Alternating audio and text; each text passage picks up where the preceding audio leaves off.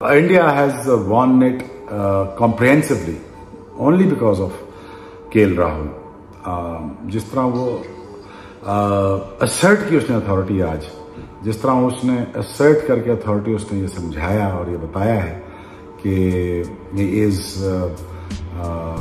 is in is is in different league और ये क्यों इंपॉर्टेंट है मिडिल ऑर्डर के लिए के राहुल uh, और ये क्यों इतना बड़ा प्लेयर है? हालाँकि आप देखिए, विराट कोहली बहुत अच्छा खेले, लेकिन चांसलेस इनिंग्स नहीं खेल सके।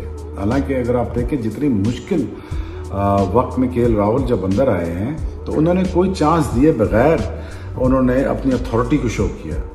और देखें, इस तरह एक प्लेयर की ईमानदारी का पता चलता है। देखें, वो अपना पचास भी कर सकते थे। लेकिन उन्होंने इंडिया की इज़्ज़त को ऊपर रखा। उन्होंने मेक श्योर sure किया, वो अपनी ऑब्वियसली uh, जब मारने का टाइम आएगा तब वो मारेंगे भी लेकिन जब वो फंसने का टाइम था वो फंसे भी।